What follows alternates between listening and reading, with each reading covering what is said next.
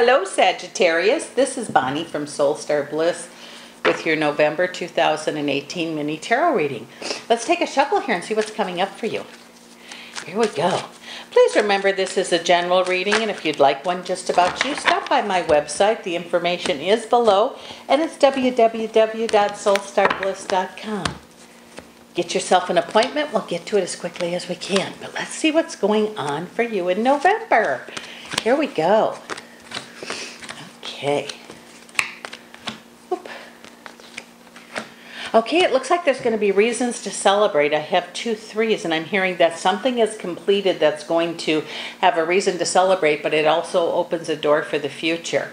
Not exactly sure what that means, but I hope that's for everybody, and I'm not even sure that it is for everybody, but it's a big deal says in the past um, maybe some foolish choices were made some delays were but something's changed. Something's changed within you. You got this get up and go giddy up and buckle up because what you put into whatever you're working on right now or have been working on for this year last year um, something like that is really going to take off for you. It says you're worried about how you're going to finish something how you're going to get it done. Trust you got to have trust that you've got to believe in yourself and i hope you're getting the support from your family that you need and if you're not and you still believe in what you're doing, continue forward because it's going to pay off for you. All those wants, wishes, and daydreams that you have, you're going to get help. If you're not getting help from those around you, somebody is going to help you with what you're working on.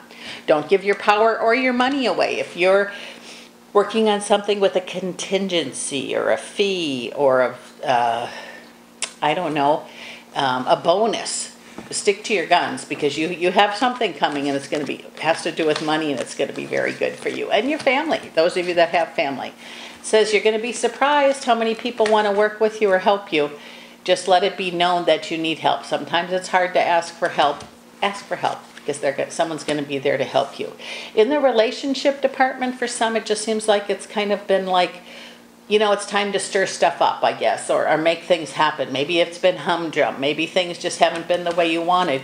Take another look. I think you're going to be surprised because maybe they're feeling the same way. Maybe you just need to sit down and talk. Maybe you need to pack a little picnic and go and sit on a park bench and talk or something out of the ordinary. Don't let anyone take your dreams from you. You've worked too hard and come too far to let that go. I feel prosperity is here for you and abundance. And abundance isn't always money. Prosperity usually is, but something's going on here. Your intuition is just really, really working good. And of course, carry over from Halloween. The veils are, are, are uh, pretty light, I guess you'd want to say. Take advantage of this time. Whatever you're needing, ask for it. There's already stuff in the works that maybe you've asked for. Get ready because it's coming. You may feel like things are being delayed. I don't think so. I'm a firm believer in everything we know um, shows up in divine time. And that's kind of what it's saying here for you. You know, maybe things kind of fell apart, got put back together, and they're, you know, uh, and I'm not sure if this is relationship or work, maybe both for different people or, or um, one for each person. But it says all of this havoc is the word I heard going on is going to bring you what you want. It says balance yourself. Balance is so important. I just see black and white. Everything is black and white, black and white look and open to receive. It says that you're going to make some choices. You're kind of afraid to make some of them. Don't be. You're, if you're prayed and asked for guidance or asked for a sign or whatever, it says trust what you see and trust what you know.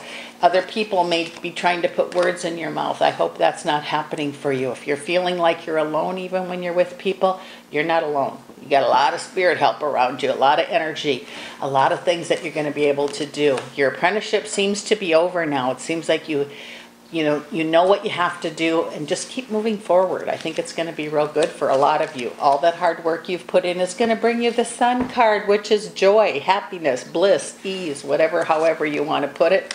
Sweet victory is right here before you.